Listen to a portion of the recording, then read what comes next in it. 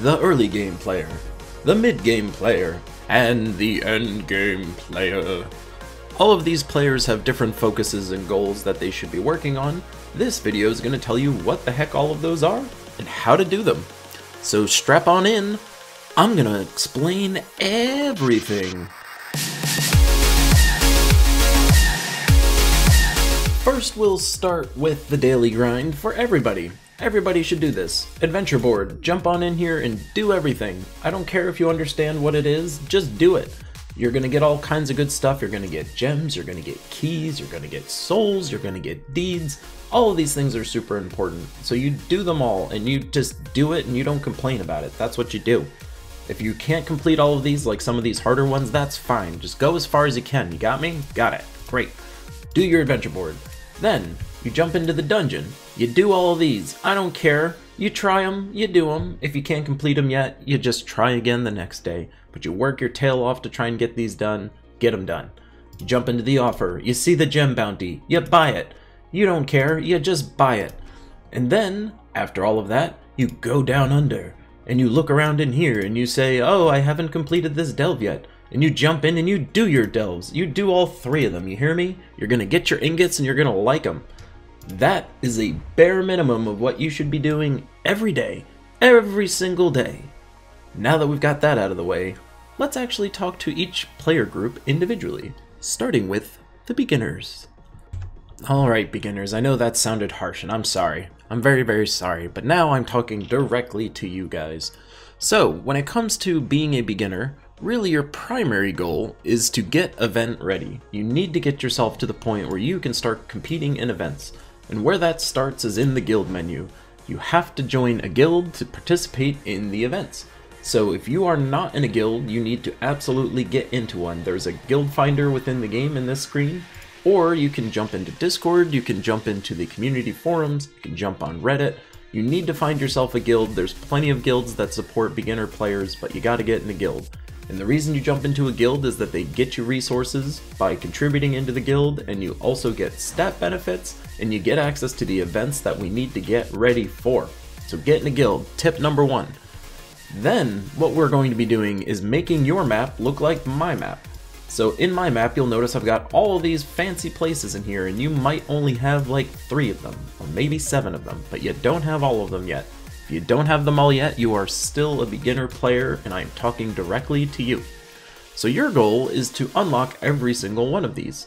Don't worry about all the fancy shiny stuff you see me put in my videos, all the cool weapons, all the upgraded troops, all the mythics. My god, it looks so exciting. Forget about it, don't even look at it. What you need to be doing is getting your map looking all fancy like this.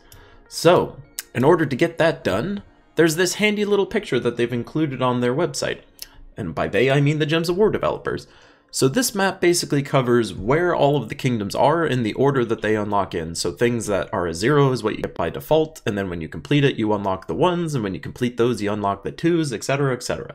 The other thing that I'll tack onto this picture here is that you also unlock other things. So at the first level, you're going to be getting a treasure hunt, not super exciting. At level 2, you're going to be unlocking the vault pretty important to make sure you get done so you can use those keys that you're going to get. At level 3, you're going to unlock basically nothing. At level 4, you get nothing. At level 5, you get nothing. Not literally nothing, but nothing worth talking about. And at level 6, you unlock the dungeon. So when I was talking about those dungeons, that's what that is. So you have to get to level 6 as quickly as you can. And then at level 7, you get access to the Soul Forge, which is going to allow you to actually craft cool weapons and cool mythics and cool legendary troops so that's what you're going to get at level 7. At level 8, you get access to the underworld, so you can actually get those ingots that I was talking about, as well as some other cool benefits. And then at level 9, you get nothing. And then at level 10, you just get some deeds. Cool. So you're going to jump in and you're going to do the quest line for every single kingdom. So in here where it's saying quest complete for me, you want yours to look exactly the same way. You're going to do all of those quests. And then when you're done with those quests, if there's a class quest, you're going to do that too. You're going to get them done. So you're going to jump in, you're going to unlock every single kingdom, and you're going to unlock every single class. And that is going to get you in a really nice spot in the game. You'll have access to all the different options in the game. You're in a cool guild that's getting you resources. You have access to the underworld to start getting ingots. You got a bunch of random troops just by playing around in there. That is your number, number one goal. The only other goal that I'm going to mention to you is that there is a class and a couple of weapons that are absolutely mandatory to not call yourself a beginner anymore and enter the mid game. And that is Mountain Crusher and Mang. So, Mountain Crusher, ta-da! It's this guy. It's, wait for it, this guy. Mountain Crusher explodes the board. This makes you a ton of mana. This should be used in pretty much every lineup while you're in the early game because there's nothing quite like it. Everyone uses it, it's the best. You'll get this by just getting your Brown Gem Mastery up to a little bit. I believe it's 13. So if you want to just force get this thing quicker, just every single time it tells you, do you want to level up blue or do you want to level up brown? You say brown. You say brown every time.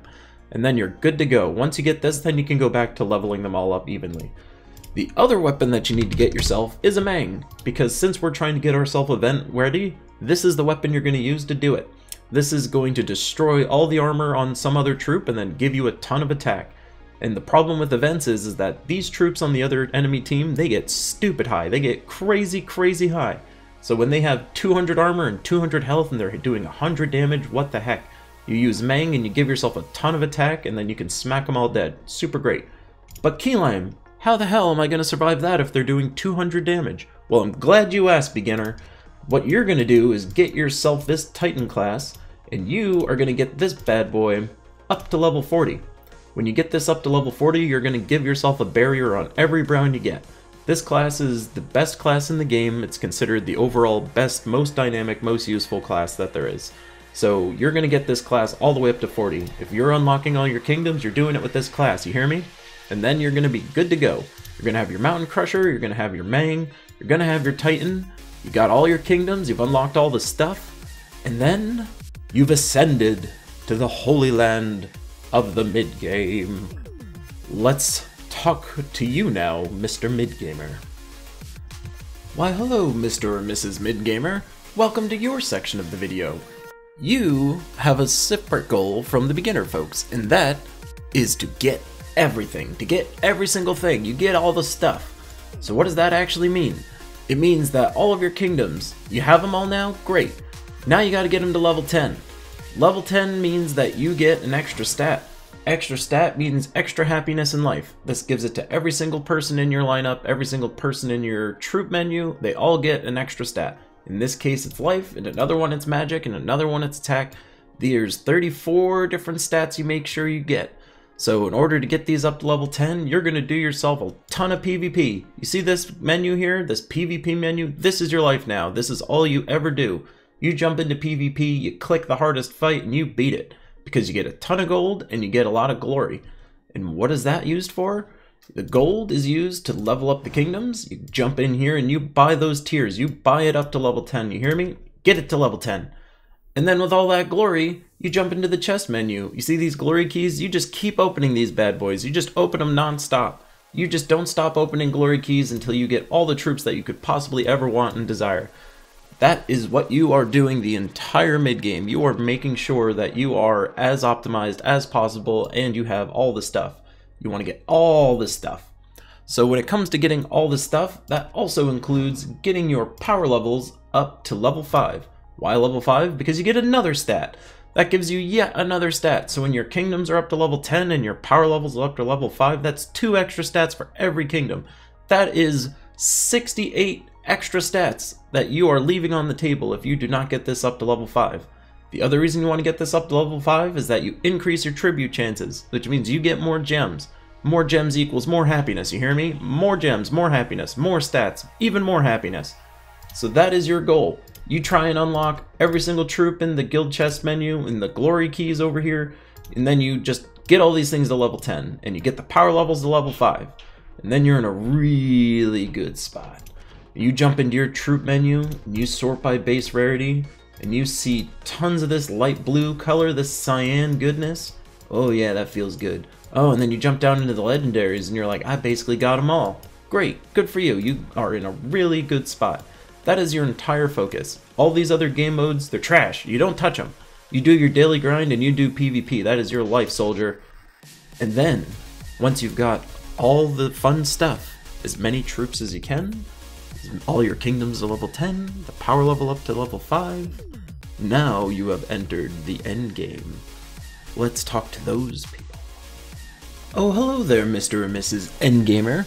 Look at you, thinking you're all fancy, you got all the cool stuff, you got all these extra stats, you got all these troops and weapons. You don't need my help, right? Wrong! You don't know anything, you're an idiot!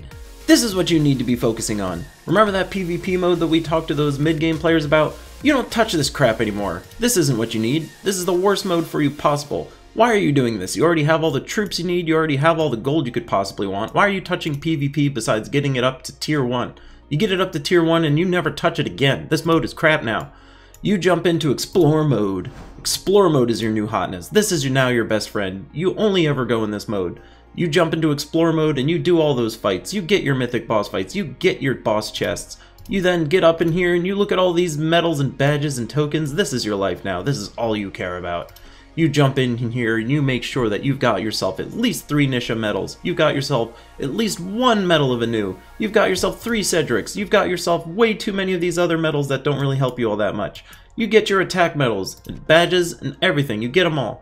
You're just doing this mode constantly. You're getting all the gold you could possibly want. You're making your guild super happy because you're donating everything. You're just pumping this bad boy up. You're getting legendary tasks like out the butt here. You're so happy. Because now, you are in optimization mode, my friend. You already have all the troops. You think you've got every single one. You probably don't, but you've got most of them. Maybe you've got them all. But I bet you don't have a fancy little metal badge next to them. You don't have that nice little gold border that lets you know this troop is amazing. This troop has all of the stat optimization they could possibly have. We don't have any of this yet, and this is going to take us years and years and years. So you jump into Explore and that's the only mode you touch. If you're touching PvP once you get it past Tier 1, you are wasting your time. You are doing nothing of value for yourself, and if your guild's telling you that trophies are important, they're wrong. They don't do crap. So you do Explore over and over and over and over again. And then you jump into your guild events, and you're doing all of your guild events, and you're completing all of them. You're getting all the orbs you could possibly want. You're buying every single weapon when it's available in the shop. You don't look at this shop and you just think, oh, I don't need to do it. You jump in here and you get the weapon every time. And then your guild, you'll complete the event every single time. And the legendary tasks, you'll be getting a ton of those for even more resources. And then the underworld. Oh, the underworld. You'll be jumping in here and making sure every single one of these things is up to level 500. If these aren't up to level 500, that means you're not getting your total renown rewards. These total renown rewards get you even more stats. So if you don't have all of these stats, you are missing out on life. Look at me. Look at me in my pathetic total renown rewards section. I don't even have this extra stat here. Scrolling down, I don't have any more extra stats after that. I need to get this higher. I am a noob. So this is what you do in the endgame. You are making sure that you optimize all of your troops in the explore mode. You are getting every single stat that this game has to offer. You are making sure all of your classes are leveled up as high as they possibly can. You look inside this class menu and you think, oh, I've got my Titan up to 100, I've got my Sun Spear up to 100, what else do I need? You need all these things, because when it comes to different team lineups, all of these classes have value at some point. Sure, some of them totally suck. I'm not talking about the Warlord class. no, they're okay. No, I'm not talking about all those. I'm just saying that you need to get all of these leveled up all the way to 100. Because if you don't have it all the way up to 100, and they suddenly get good, you suck. So you get these up to 100. You get it up to 100 right now. And that is what you are doing in the end game. The perpetual grind, the never-lasting fight to get all of your troops as great as they possibly can, to get your classes as high as they possibly can, to get your delves all the way up to the tippity top. And when new stuff comes out, you get it right away because you're such a pro. And then, once you've done that, you can die happy, peaceful. You have done everything. Until the next week when new stuff comes out and you got even more crap to do.